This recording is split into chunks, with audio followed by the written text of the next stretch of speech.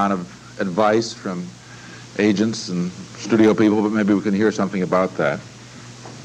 I think it's a, a terrific move that Steve made, and I'm very, very pleased that we've been able to get the film down here and that Steve has come down to, to chat about it. And uh, we achieved, and they said we couldn't do it and all of that. Yeah. Mm-hmm. One thing about the casting, I thought the girl who played Petra was particularly interesting. Wonderful. Yeah. Wonderful. Oh, yeah. She, she a New York stage actress? Yes. Everybody. You know, they were all all New York people, all very very learned people about their craft. And I tell you, I I studied that script because I'm I don't have a very good mind for memorizing, and I'll tell you, you don't ever want to get out of step with those actors because you're dead. You know. That's terrific. Um, well, now, what about the uh, the distribution plan? Is that is that still open, or what's going to happen? Well, I had a great deal of opposition doing the film, and and they didn't want me to do it, and I can understand why. I'm not sure the film will make any money in its present form. I, I'd be very surprised if it does. I, I don't know that people will really care about that. I think that audiences per se, at least I used to, uh, that if a man works very, very hard and he comes home, he wants to watch Archie Bunker. I know I do. If I work hard, I want to escape, escapism. If people do like the film, uh, then I think we should present a good surroundings for the audience. I feel that it should go one to maybe two theaters in the United States, possibly three, and I think that it's a very intimate film and it should be a 400-seat house. The problem that we have is because of the 29 millimeter lens, I know when, when we first started running it and, and, and for editing purposes, I kept asking the projections to rack over and rack over because I, we kept getting fuzzy. And what it was, it's so terribly critical that it's got to be a small house. The sound has got to be just right because, I mean, we made mistakes, but we slaved over this. And if you have a film that's slow, then you, you must treat it, I think, with great respect for the audience and create an atmosphere where they'll be able to listen and to enjoy. And I believe that would say a, a, a, a 400-seat house, yes. Mm-hmm. Three theaters. And I would, uh, to, to carry on though, but to go on uh, to, to, to, to different colleges in the United States, I would like to take the film and see if I can get some education. Uh, you know, because I was standing outside and I you know, get nervous and I walk away, you know, because you guys are hard audiences no matter what. And yet, it was hot in here it was stuffy and people were laughing and you know enjoying this thing and this is for me is an experience so i would like to take it and see what happens with it and mm. keep it away from the public temporarily i think i'm i think i'm scared to show it to them you're a captivated audience you can't leave That's great. Okay, well let's let's get some questions from from the floor. So, who wants to begin over here?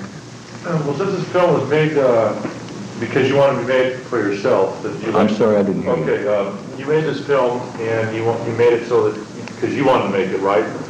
But what kind of response, let's say it's a good response, are you looking for? Let's say it's presented in contemporary cities or whatever, let's say Los Angeles or San Francisco or whatever. What kind of response are you looking for from the people? I mean... I, same kind of I, I don't I don't know that's I, I really don't I don't know who our audience is.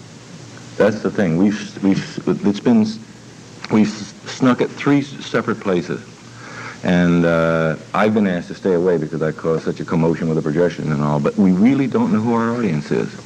Strangely enough, we ran it in Indianapolis with uh, the James Bond film. right next to it, and you know that's suicide. It really is. They loved it.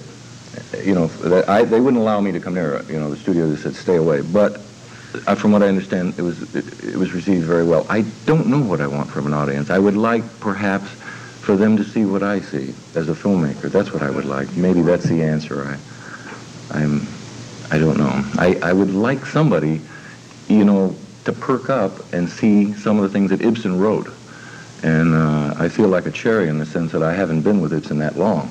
But what I do, what I have learned from him is very, very good. Yes, down in front. Uh, I'd like to start out by saying that I felt the treatment of the stage play, of Ibsen's play, done on film was excellent. I've seen a lot of theater done on film, and it just doesn't come off well. But the timing seemed to be good, and the lighting and the music really worked well to make the stage story a film story. Thank you. But what I'd really like to know is how was the conflict between you as executive producer and actor? How did you work out those roles, and what were the conflicts and what were the compromises that you had to make in those two roles? You, uh, wearing the two hats? Right. Okay. Uh, take off my jacket. It's a good idea. I'm used to it because I've had the training for it. I've been producing films for years, but I've never wanted to take screen credit because I didn't really need it. I thought it'd be better to buy another head who was smarter than I was. Now you need to do it in order to be able to handle the film through exhibitors. Uh, I don't have that problem. It gets tiring, and I have to take care of myself physically. But it, it, it, I was in charge. If there was any mistakes, I pay for them. So I had no opposition, and I'm not a compromiser. So I found myself constantly pushing and pushing and pushing, and was getting great support from my my coworkers. The only people that gave me difficulty were the money, the buck people, and you can't blame them. They want to see me crash and bang and sh- But I think if your question of how to sell it is the name of the game, and we don't know yet. And I hope we find a way. We're not going to take two more. Go ahead. That was the way Hester Street grew popular um, in new theaters like that. I love that film. Hester Street? Yeah. It was wonderful. way it Well, it, it caught on. It caught on. We don't know whether this will or not. This may just go flash by, or people might become interested in. You never know until until they pay their hard dollars to walk in and see it. Yes. Um, I'd just like to say that I was in San Francisco this weekend, and I thought any minute you were going to come ripping around the corner. Then I get home and I wanted to relax, and what was on TV, The Getaway. Then I walk into this class, and they say, Stephen Quinton, Stephen Quinton. The minute you walked on the screen, it was it was really impressive, and I'm not trying to say anything bad about the image I had about you, because it was totally different, and, and both are good. And I think what you've done, you made a joke about Butte, Montana, but you've made Ibsen palpable to somebody in Butte, Montana. I'm an ignorant ex-English major, and I sat here and, and I liked it, and I, I felt I was doing something cultural for myself, and I think, I think that you've really done a good job, and I, I, I'm sorry that you asked me so many questions about how you think it's going to work, because I think you should have a little faith in Butte, Montana.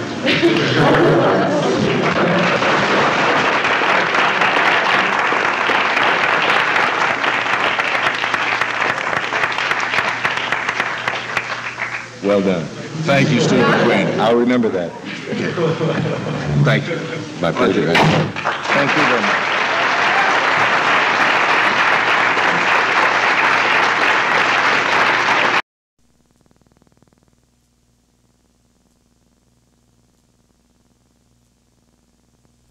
Blue shirt.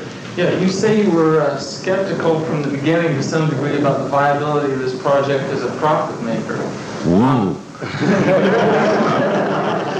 J- j- Start again. I'm sorry. I didn't get all the words. you said that you were a little bit doubtful regarding uh, uh, this this film's potential as a, as a profit maker. Correct. I wonder how you approach the money people with the project that you yourself aren't fully confident in. Do you have to kind of give them a snow job? No. No, no. I was under contract. I had three pictures to do for First Artist. I, had, I have no salary up front and a percentage of the action.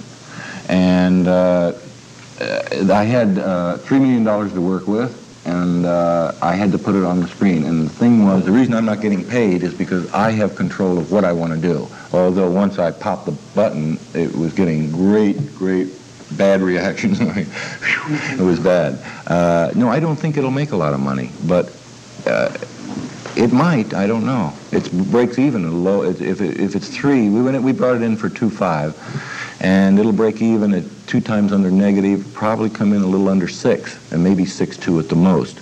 So it'll probably see some bucks. But that wasn't the reason. You know, I had my choice of doing what I wanted to do, and that's what I wanted to do. And I didn't have any opposition from anybody as far as anybody having to snow people because it's not going to make buck. See, as I understand it, First Artist was designed really to let actors do the things that they wanted to do. It's kind of a cooperative involving yourself and I think Poitier and Barbara uh, Streisand and Dusty Hoffman. Right.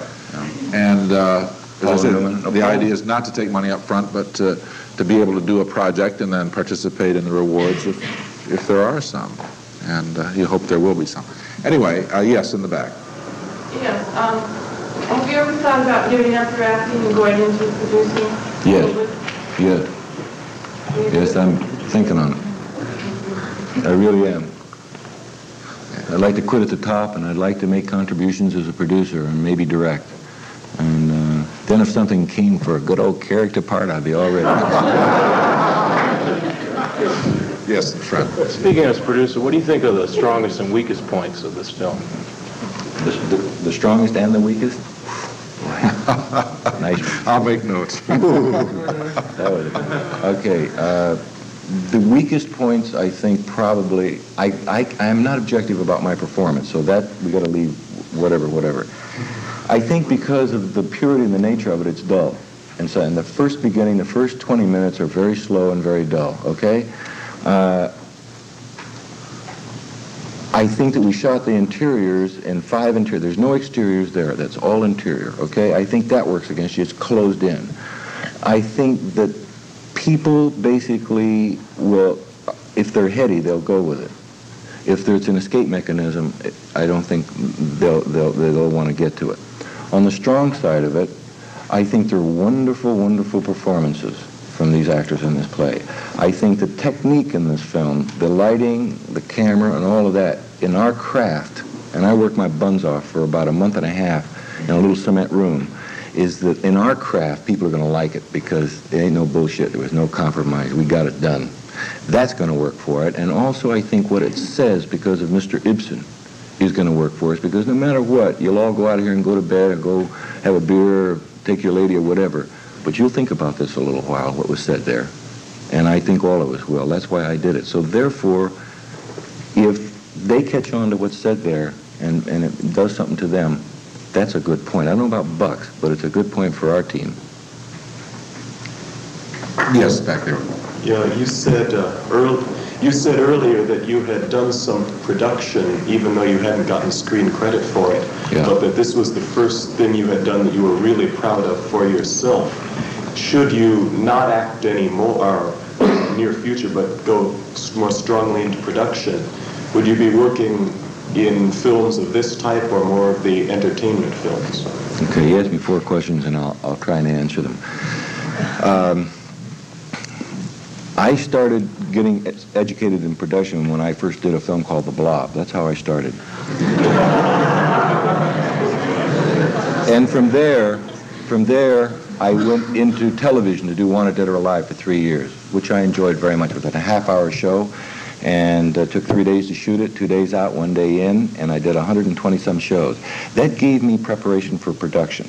And I, I do love production, but I don't like the bullshit that goes with it. It really, the pecking order in anything we do in society today is spooky because you constantly have to play the game, and there's no different in our business.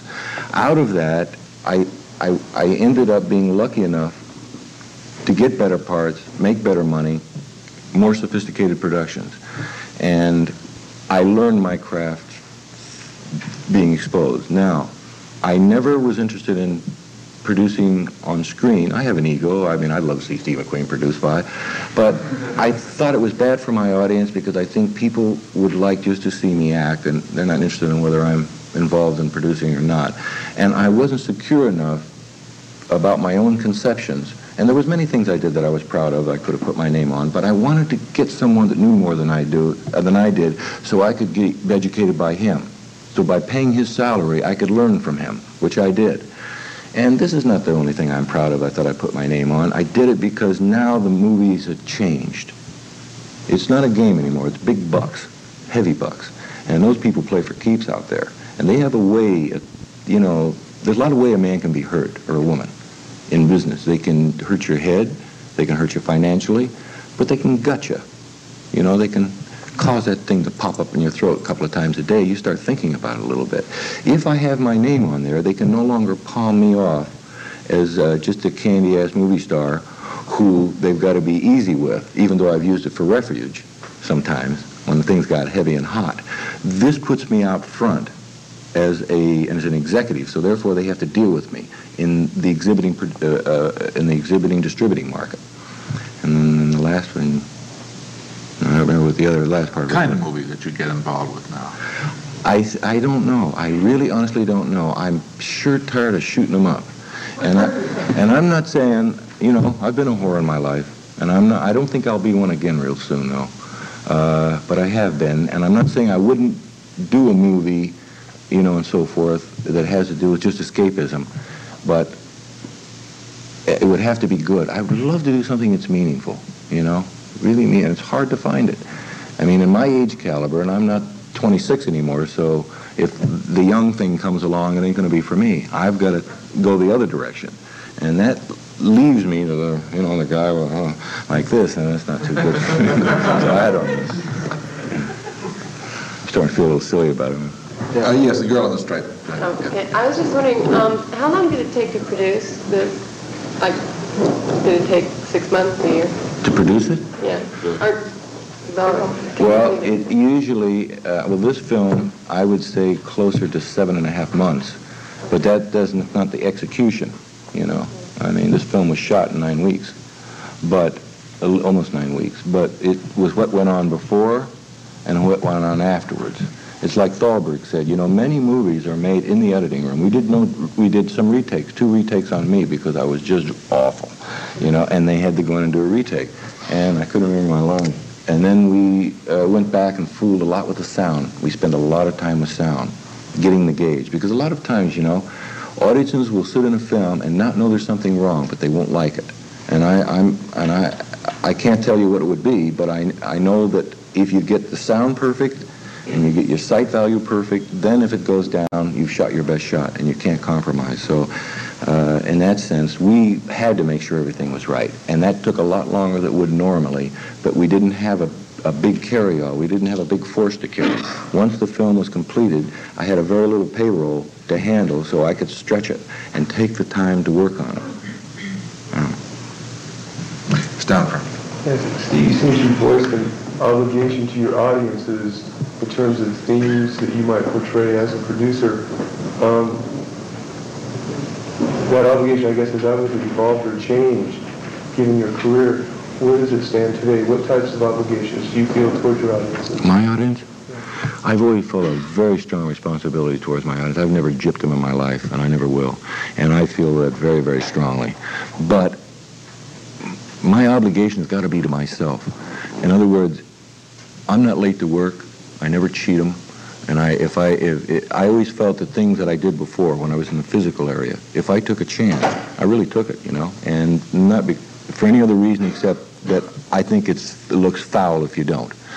But you've got to believe in what you're doing, like you believe in what you do. I believe in what I do.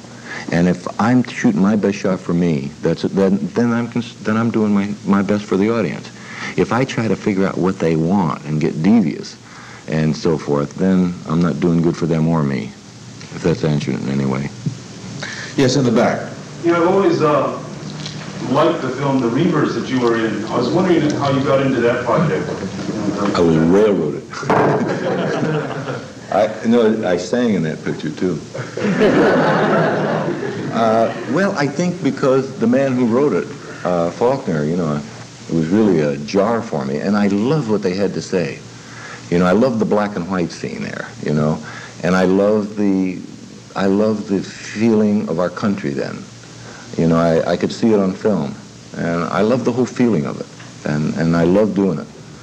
I really enjoyed that. It's coming back on television the week of September 18th. I think it's, it's around the 20th or the 21st, sometime like that. I was just writing about it today.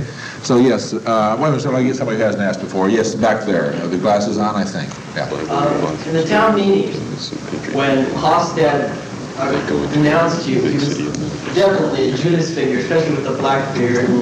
You were a Christ figure with the, you didn't look like it. how, did, how did you feel about being, about that, being a Christ figure? I didn't look at it that way, but one thing about film that I think is so constructive, and that is like reading, I, it allows you to make up your mind as you see it. And that's really what it is. Uh, you're right about him. He became the heavy, in a sense, but did he really? Uh, you know, and for me being the Christ figure, I, I, people have mentioned that before. I didn't, that never occurred to me. I think film, people will make things out of film that, that aren't even there. And I think that's one of the wonderful things. I don't mean that as a slam, but no, but I mean this is your this is what you see, and other people will see different things and the same thing, and other people have seen what you see. But it was not my intention. I'll tell you why I looked the way I looked was because I fashioned my character after the first gentleman that I saw a photograph of that did the play on this, on stage in New York, no, no, in uh, in Norway in 1902, and I copied his wardrobe and the way he looked, because Dr. Stockman was a bit mad, and the thing, you know, he wasn't right either. I mean, he he was busy, you know, pushing buttons, and, and he handled everything wrong. Although what he was trying to do was right. What I saw in the film was everyone turning against him one at a time. His friends, his best friends, his wife. And his daughter was the only one that really kind of looked at it with any c- clear picture of, of, of, of, of perhaps his survival. His children turned against him in the end. And that's what I think that the element of truth was all about there. It's, it, it has to do with the common man.